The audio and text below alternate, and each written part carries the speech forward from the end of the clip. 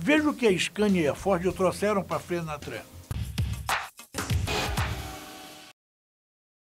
Às 12 horas, a Scania apresentou o principal destaque na Fenatran 2024, o caminhão 30G. Trata-se do primeiro cavalo mecânico elétrico do país. O modelo custa 2 milhões e 500 mil reais e tem uma autonomia de 250 quilômetros.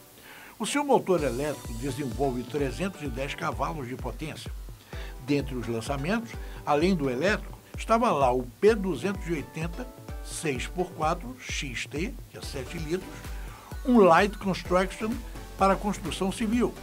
A edição comercial Performance G-Line 370 de 370 cavalos, os semipesados de 7 litros com novas potências 250 e 280 cavalos, o Super B100 100% movido a biodiesel e a nova versão a gás de 650 km de autonomia.